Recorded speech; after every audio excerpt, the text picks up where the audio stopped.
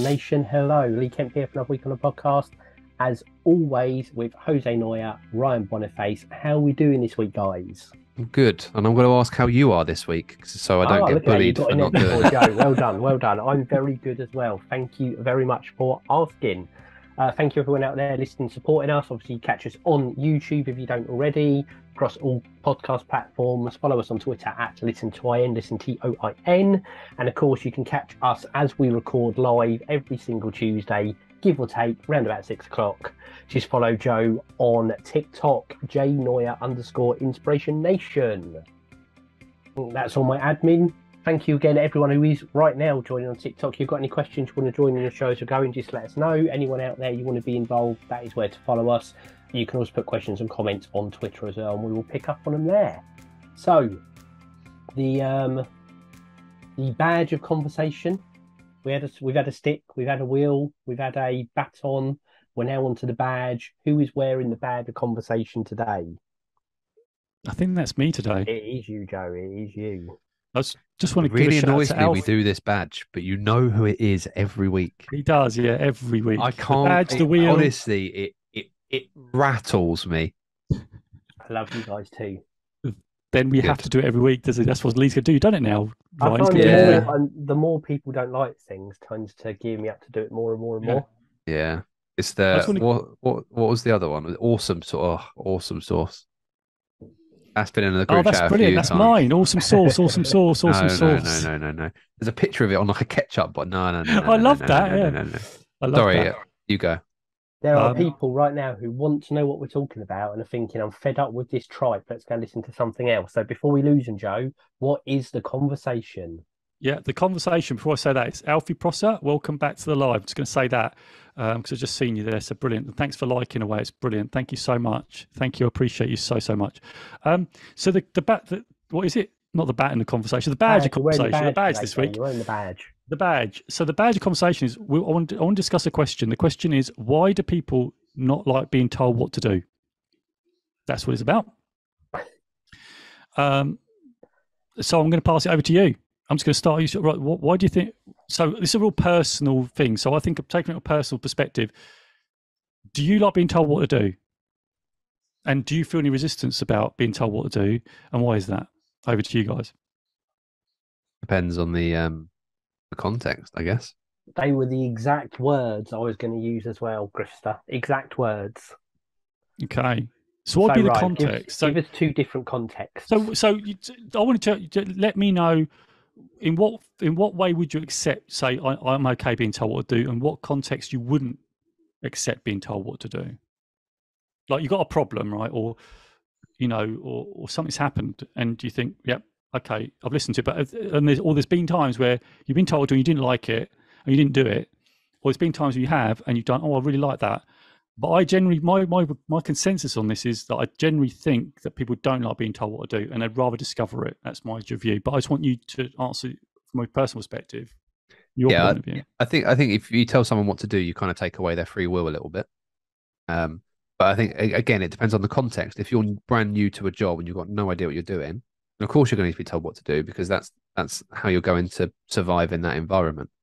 If you've done a job for 15 years and someone comes in and tells you how to do that job when you've been doing it pretty well, then that conversation is never going to tend to go well, right? You, you as the person coming in that may be a new manager or, or new supervisor would would need to assess that conversation in a, in a in a majorly different way and perhaps help that person come to the conclusion you want them to without forcing it on them. Um, you know, we've all led teams on this on this call. Some have more experience than others, um, but my experience of of being um, young, as you two like to mention, I managed a lot of people that are perhaps double my age, 20 years older than me. It's very hard for me to go in there and tell one of those people how to do something or what to do because that that isn't a going to work and b comes across as disrespectful to their experience. So it's about helping them identify what you want them to identify. So that that's where it comes from. Every nobody likes being told what to do. Um, I'm sure people don't get parking fines or speeding fines and say you must pay this. And I'm sure I'm I'm sure nobody in the world loves paying those kind of things. Nobody loves being told to to I don't know go to a different shop or you know whatever. No, I, I just think that's people want to live the life they way the way they want to live it. They don't want people to dictate to them how they should live their life, whether that's professionally or personally or socially or whatever. Yeah. Lee, what about you? Um, you touched on a couple of words there, Ryan, that I think are crucial to this. And again, there's different situations where they do and don't apply, but it's the what and the how. So there's being told what to do and there's being told how to do it. Um, but again, I think it, it changes differently. So at the moment, I'm doing a load of different DIY things in the house. Um, now I know what I want to do. You know, I know that I want the room to end up like this. I want to put this door up here, or I want to change the floor here. Now, if someone wandered in off the street and said to me, No, no, no, no, no, what you want to do is this and this and this and this, I don't need a stranger telling me what I want my house to look like. I know what that is.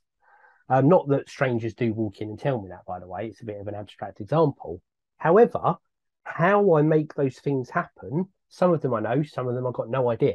So I'll go to trusty YouTube or I'll pick up the phone and phone my DIY helpline number, but by coincidence is the same phone number as my dad's phone number. And I'll say, this is what I want to do, but can you tell me how I do it? And I will welcome that how to do it to explain me through that situation, everything else like that. Similarly, there'll be situations, you, you know, Ryan touched on earlier work situation. Actually, you know, if I'm in a place, if I'm comfortable what my boundaries are and aren't for my role, I know that I'm going to be told what I need to do for the business within the role that I'm in.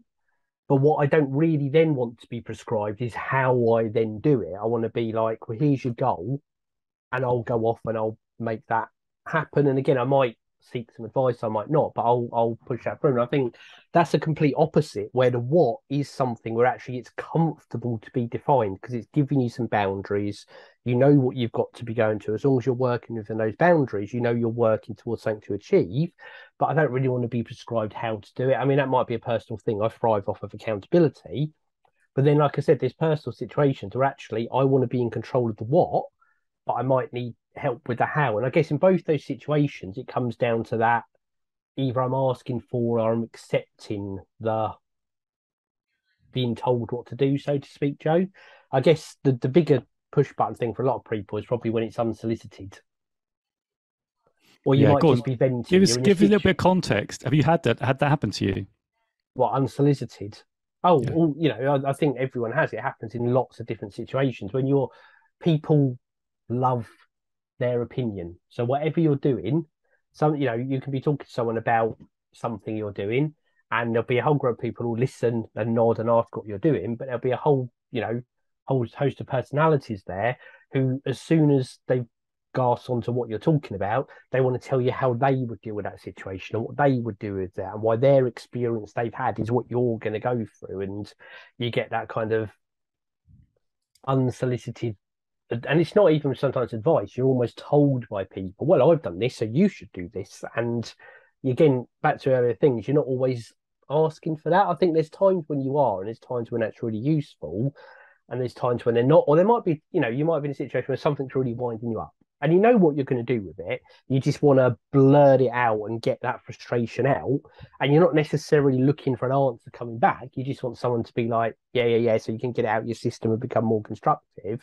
And again, you get that bit where you're then told, well, this is how you fix your problem. And it, it doesn't always, sometimes it hits in the right way and sometimes it doesn't. Again, I suppose, depending whether you've opened that door for someone to, to give that instruction.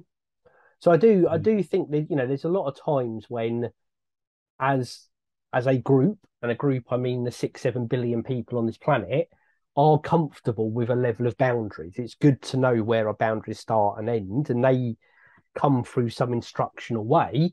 But I think when that starts to narrow and narrow and narrow, and you're getting the what to do when you're in your boundaries, in your lane, or you're in a place where you're experimenting, I think that's where it can push on people's buttons sometimes. What do you think, Joe? Your question. Do you like yeah, being told what to few, do? Few, yeah, the thing is, it's because when you know, as I said, with leaders or when you're doing anything, you know, people ask you for advice. That you give the advice, and they don't do anything. They don't do it. they just don't do it. They do something totally opposite or whatever. And it might be because there's, you know, that you know, they just like you said.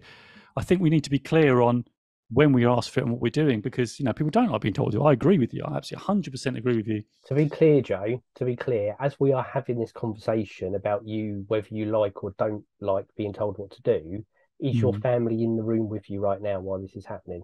Yeah, my daughter is watching. This will be interesting. Yes. Um, no, nobody does, do they? I mean, that's the thing. That's what I've discovered throughout my life. And even if people ask for advice, they don't necessarily want the advice. They're just like you said, they may be just voicing and they don't want a solution, right? And I found a lot of my daughters. Uh, I just want you to listen.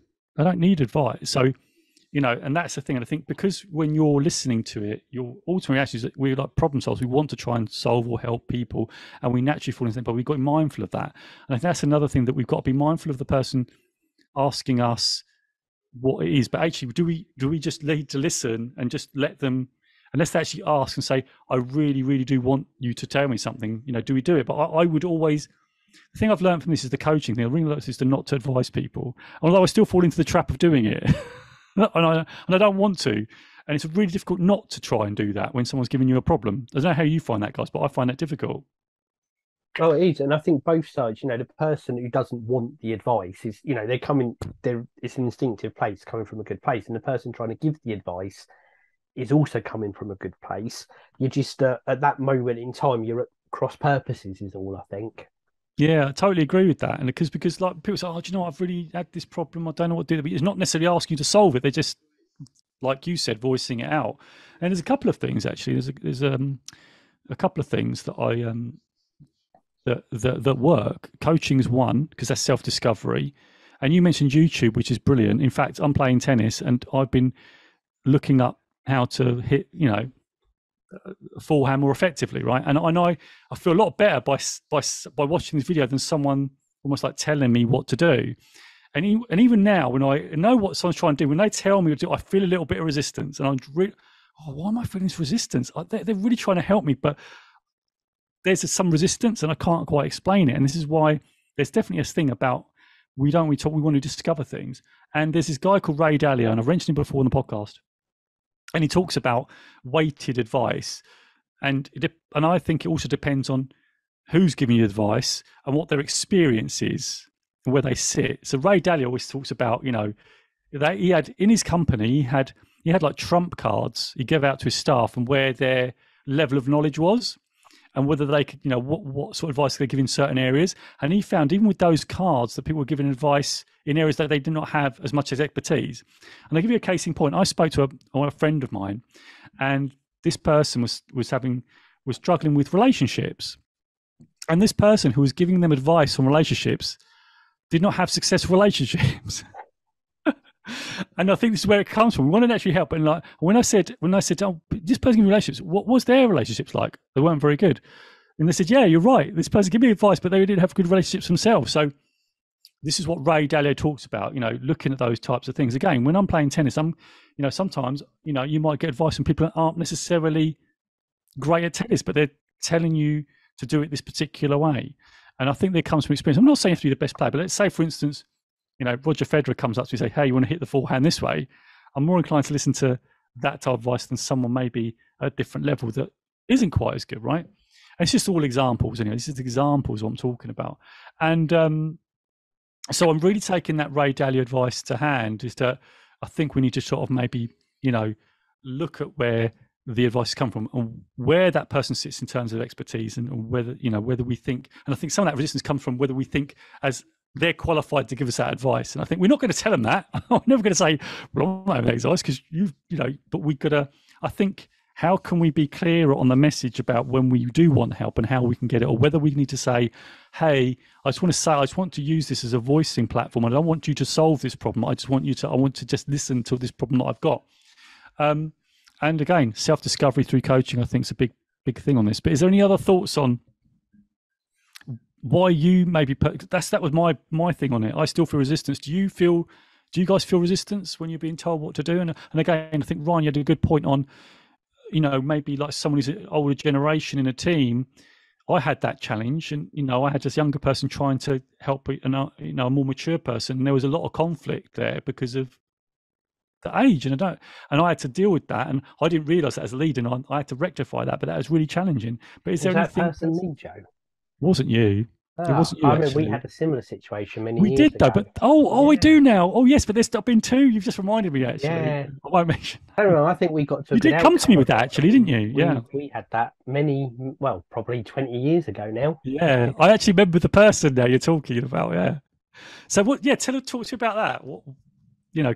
What what was going on? What did you think? Now you reflect back on your your experience, looking back. What do you think was a main driver behind that resistance? Do you think, and and how you felt maybe as as the person receiving that sort of? I think, I mean, for me, it's, I mean, I was like, what was I, 20, 21 at the time? So, in, in the mm. nicest way to myself, I had no idea what I was doing right now. And I think it was probably in a place that I knew I had the knowledge, or at least I hope I had the knowledge.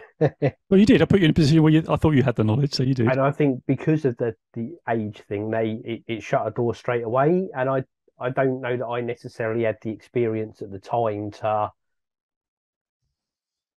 so soften that. I guess I hit it more head on in the well, I'm going to prove to you I know it. That isn't necessarily the right way to. I don't. I don't really remember all of it now, if I'm totally honest, Joe. But I think that I'm going to presume that's probably more of a thing I did rather than you know I, I took it from a factual perspective rather than the behavioural one because I don't think I really had a even a clue that behavioural stuff even existed back then. Mm, yeah, and it just shows you. I think. I think there can be those. Uh, what do you call it? Um, unconscious. You know, well, this young person's not going to tell me what to do, and all that sort of thing that we maybe got hidden and stuff like that.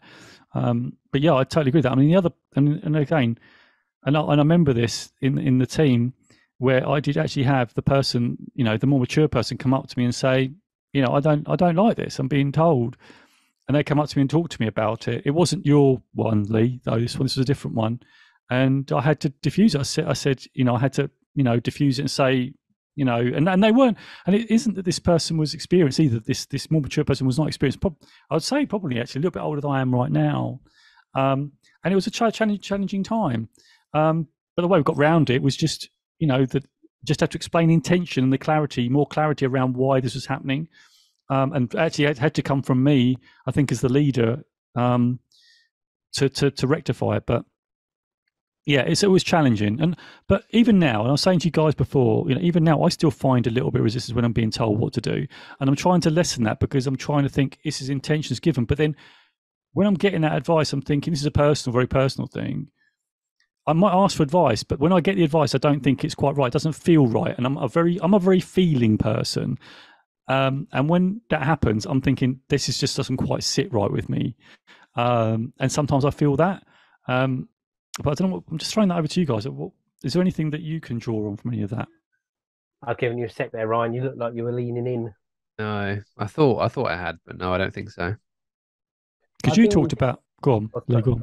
I'm gonna Yeah. say it's like, like a lot of it. It's the consciousness thing about it, isn't it? Because it's not just how can I get people to, how can I be with people, you know, to make sure that I don't cross that line or anything. But how do you respond when people are giving you advice? And are you shutting down for the right reasons or the wrong reasons? Is there something to listen to? Have you got to be careful how you present, how you're talking to not unknowingly invite it in?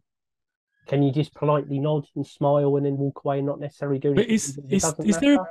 is there a bit of scope though to actually say to the person somehow that that's not landing? And should we be giving feedback and saying, I've asked his advice, but should we be giving feedback that it doesn't sit right? Or would that be a bit disrespectful once you've asked for it to say, do you know what? Thanks for that, but I'm not going to do it. I'm not going to do it. Do we need to be a bit more honest and brutal? I don't know. I'm just putting it out there because No, I think because because I've not done it. If I've not done it, and then they see I've not done it, and their intention was good, that's not going to make them feel great. So go on, go on, Ryan. Sorry, I've interrupted. no, you. I think I think um, advice isn't asking for advice isn't an admission to doing what that person suggests. It's asking for an opinion to help you formulate your own plan or your own decision on the best way to proceed with something. It might be that somebody's advice doesn't fit specifically in your situation, but does give an overviewed situation that helps you develop your own decision that moves you moves you, you know, away from where you were. Just because you ask for advice doesn't mean you have to take it. And it's also worth, if you're worried about things like that, telling telling the people that you're asking advice, asking the advice of, that you're talking to a few people, and you're just looking for a consensus from from from everyone. you don't have to justify your decisions to anyone, even in a professional or a friend like capacity, because good peers and good friends will understand the decisions you make, if, especially if not if you justify them, but especially if you can explain why you've made that decision. I suppose that is justifying, I guess, but justifying makes it seem like a um, demeaning phrase. But uh, if you can explain why you've made the decision you have, and and perhaps you sought good opportunities out of their suggestion, but for your situation, X, Y, Z affected it, and therefore you decided to go this way. It is what it is, right? Um, if Lee came to me and said, "What car should I buy?" I said, "A Ferrari," and he then rolls up in a Fiat, I'm not going to go, "Idiot! Why did you not buy a Ferrari?" Because there are other things at play that may, that obviously in this scenario would affect his ability to buy a Ferrari. Yeah, I, You know what I mean? I get. Yeah, I get that. I get that. Yeah. So what car should I buy? Yeah, I get that. And I was There's many gonna say- reasons as I roll up in whatever car that Ryan might just say idiot when he sees me, but at least one of them won't be because I didn't listen to his advice. Usually it's because he tries to run me over. God, this father and son relationship's getting more uh, gritty by the day. I think. you know. it's like an Yeah, episode mate. of Hollyoaks. So I suppose, Ryan, would you would you be happy with Lee telling you what to do? Would you do it? This As is the other. This is this is the other side of the of the situation. I'm more inclined to listen to if Lee told me to do something than somebody else because I respect him, Hmm. and I'd like to think having that level of respect gives people more ground, more push when not demanding things of others, but seeking things out of other people. If your random tennis coach, in your example, said hit your forehand this way and you feel that resistance, but when Roger Federer says it, you don't get that resistance. Well, I would definitely not feel the resistance. What's the, you know, outside of the fact that one's a 22 time Grand Slam winner or whatever it is, what what are the differences between these two people? And it will be that you don't really know this coach, but you you feel like you know Roger Federer because you respect him because of the game that he plays and the way that he plays it. So that has to me that has a huge drive. If I had a new, you know, if I had a new boss come in that was younger than me and started telling me what to do, I would struggle with that.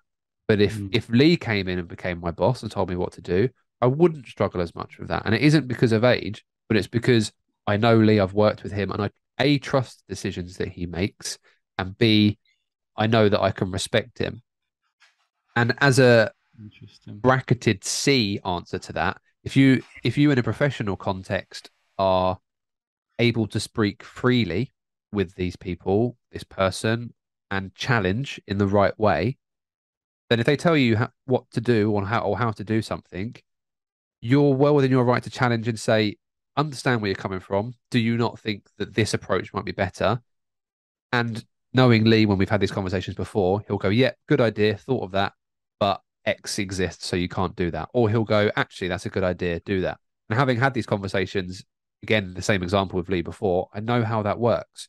But because you know how someone runs, how someone kind of does what they do, and because you respect them in that way, you are more open to taking those instructions, if you like, from them.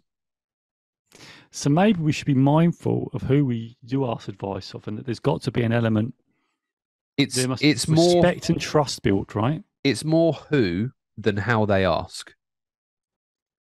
If your if your wife told you how to do something, you're more likely to Don't, go. don't go to this. Don't, just don't go to this ground. You're more likely to do Careful it. we go to this ground. You're more wife is in the likely to do right it. now, listening to this. Ryan You're more likely to do it than you got a spoon in her hand. if a randomer if a randomer person was to ask you. While Right. we whilst we're on the subject, can we just ask Joe when you were last asked to cut the grass and if you did so? All right, let me just ask the question. Come on. When, when, go ask, ask the question again, Lee. My wife is listening. When was Joe last asked to cut the grass and did he happily skip out to do it? In the weekend, he did. Yeah. Oh, look at you. Come Joe. on. Um, so you only Well, I must say, I did feel you were gonna get a good resistance. outcome. He did a great job. But that And Praise that- as well. Look that that. resistance in this live example, that resistance, you push through it, A, because of the relationship, but B, because you respect you respect the woman that you live with, right? I bloody But well if it- do. That is the correct answer. But if you're if if for whatever reason your neighbour looked over your fence and went, "Core Joe, your bloody grass needs cutting," you'd go, "Piss off." Do you know what? It's so funny you saying that, right? You've reminded me something. We're, not, we're in our house, right? And there's some neighbours, bless them, bless their souls. They're lovely. They were lovely. They've gone now. But we, you know, we'd not cut the grass for a while. But they'd come over and they'd try. This is like advice that's like given, but it's not a given, if you know what I mean. And they come over, they knocked on the door, and, and, and, my wife will, will attest to this. They said, they come and said, Oh, how are you doing? I said, We're doing good. I said, Oh, they said, um, Have you been away? Looking at our grass. have you been away? So, like, oh, we've not been away, right? So there's another way, like we know what they say. You need to cut your grass, and Passive aggressive immediately- words, I think, Joe. But that resistance, Exactly. that resistance is so Yeah. much bigger than if if your wife were to ask you to do it, right? hundred percent. So it's Yeah. because it's because of the relationship dynamic. Yeah. As well as knowing where your bread's buttered, of course. But- And it's happy, happy life, happy wife, right? Right? Happy wife, happy life. Yeah, that way around. right. That's it. I think it's that way around. But e even if you even if you take the even if you take the wife husband aspect out of it, if it Yeah. was if you were living with a sibling, you'd be more you'd be more content with saying them saying to you, you agreed to cut the grass this weekend, get out there and do it. Then again, your neighbour leaning over your fence and going, your grass looks terrible, cut it.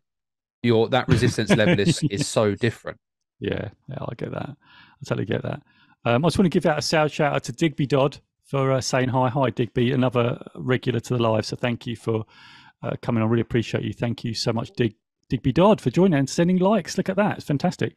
Um, but yeah, I I really love this conversation because you know I want to understand. I I, I feel this is more. And actually, well, should I be asking to revise, or should I be trying to self discover? I I'm a more self discovery person, but I will advise, especially on DIY and things like that. I do defer to more expertise. Yeah, I- I never really posed an opinion on that. I'm more I am more self discovery, but if I if I'm unsure of the what or the how, as Lee kind of described, then I would Mm. seek further clarification. I don't know. yeah, That sounds really. when you it's when you ask for it, you know, when you invite it in. But I think also it's how comfortable you are with how you know as we like to feel in control, and I think that being told what can do can push on it. And I think the more in control you feel you're made to feel, the less that instinct to push back kicks in. And I think that's a that's a, a big big part of it as well. I mean, I don't know who this Lee you speak of, Ryan, is, but he sounds fantastic. So definitely, left- uh, yeah, he left. a guy to look up to. He left Has me he about gone? he Has left he- me about nine months ago to go and pursue other things. So So I'm sure that, he's much that- happier so, now. Much so can I just can I just clarify? So that Lee was not your dad. This Lee is your dad. no, both Lees were my dad. It's oh, just Oh, so you got two Lees that your dad, right? That gets even more complicated. The now. Lee- Okay. the Lee nine months- now. The Lee nine months ago hadn't had a haircut for three years, Oh. whereas this whereas Oh. this Lee this Lee has. So quite dapper. people go back to the um, episodes in the podcast. Lee's going to do a shilling, but go back to early episodes where you'll see Lee with his long hair, with his footballer type headband on the video, which is quite interesting to see. head over to inspirationnation.org.uk links to the full archive there and you can go back and you can see me probably around about what episode 150 160 something like that. It will look fantastic. You'll Yeah. love it.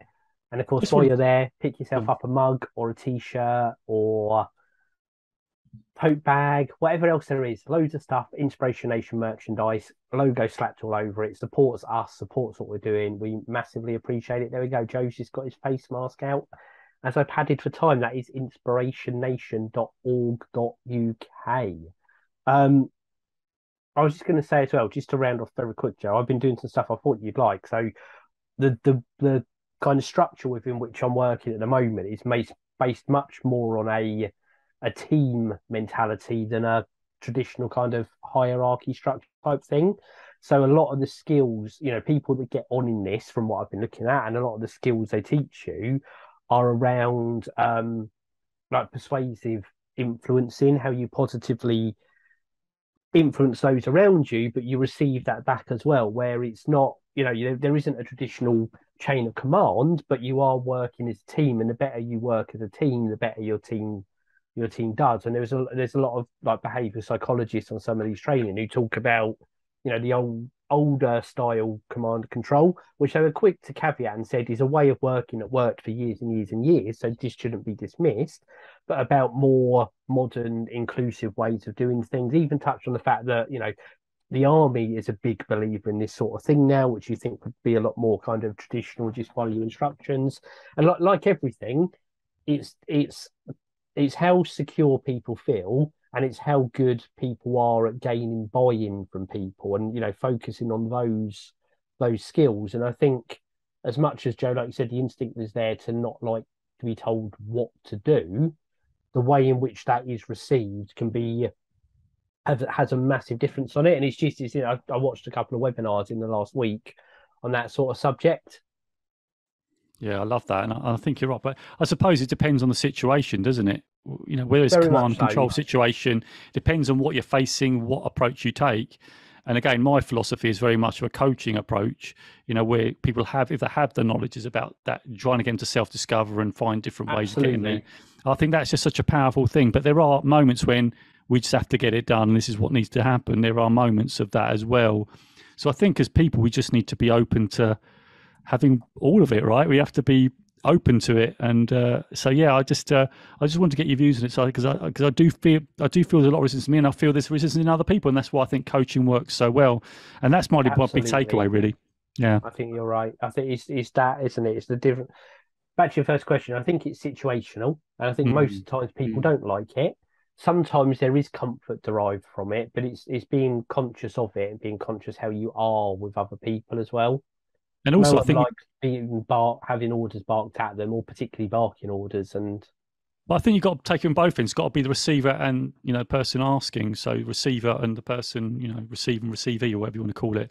I think both parties. up words now. Part yeah, I am. Both parties have to be have to be conscious, don't you? Whether you're asking or whether you know you're giving. How should we approach that and really be conscious of, like you said, Lee and Ryan, the situation and everything's at a play? I don't think we probably when we give advice, we probably don't think enough about that. Well, is this an advice moment? Is it not an advice moment? Is it? A, I usually I usually try and wait for people to, if I'm coaching, to actually ask me, and I say to make sure to ask me, oh, what do you think? You know, or you know, I want them to to open up the way that there, there is because I I want to resist being able to give advice, resist it as much as possible. That's what I'm aiming for, um, and that's what I always will always do in coaching. I'll be I call it the nuclear bomb of coaching, where you tell people to do that. That is not coaching. Then you're not coaching at that point. Um, but yeah, th- I love this conversation. I think there's been a few situations, but yeah, is there There's anything great stuff guys? there, Joe. Yeah, some great advice. And I think that, you know, to lead into the takeaways, that response of what do you think is my big takeaway from this. I think that's such a powerful thing to use to help help people find their own answers. Because like you said, we are we do, you know, self-discovery, finding our own way, making our mistakes, that's all human nature stuff. You can't you can't be told experience. You have to experience experience. But that doesn't mean you can't be there to support and guide people on the way and what do you think i think is key so that is my that is my takeaway for this week ryan what is on your takeaway for this week Um, we didn't talk overly much about this, but my takeaway is be careful how you phrase things because you can come across in the same way. yeah, i think that's very good yeah. It's very good. and jose as I said, mine is about my co- my mine is, is the coaching approach, is the situations. What you said about is about that moment. And actually, when I'm thinking about you know my, my daughters and things like that, is that you know you, you said you you- you have even though you have to let people experience things. That's the only way really. Sometimes we're going to learn that that thing, even though do it in a in a safer environment so they can learn and then move on. Um, so for me, it's to really hold back on the advice unless it's absolutely necessary. Like, do not advise at all unless it's absolutely, you know, unless they really, really, really want it. But read the room, read the situation, and that's mine. fantastic stuff well i think all that's left for me to do is count us down we'll be back again next week everyone thank you for supporting leave us a review hit subscribe tell friends and family and of course don't forget to check us out on tiktok live every tuesday. Just follow joe j noya underscore inspiration nation over on tiktok as well. Three two one. Inspiration Inspiration nation. Nation. catch you guys later. Catch you guys later. Let me know what your biggest takeaway is from this conversation. I'd love to know. Put it in the comments below, and I'll respond to every single comment because that's the commitment I make to you in this community. Also, don't forget to subscribe right over here because we need you to build this Inspiration Nation community to get the podcast out there and to help other people for free. And also, don't forget to hit that bell right over here because if you hit that bell, then you're going to know when another videos go live. And don't forget to check out these videos right here next to me because those other podcast episodes that can really help you out. I really, really appreciate it. And lastly, don't forget out to check the newsletter. The link is in the description below. That's where I can talk directly to you without through the YouTube, throughout the social, because you can have a direct communication channel with me through the email and you can get to know everything that's going on with Inspiration Nation, ask me questions, and even give me suggestions on what you'd want us to talk about next. So I'd love to see you in the next video. So please click on those links. Please follow through. Please let's get this community building. I appreciate you. So until next time, I'll see you in the next video, Inspiration Nation, and I'll catch you guys later.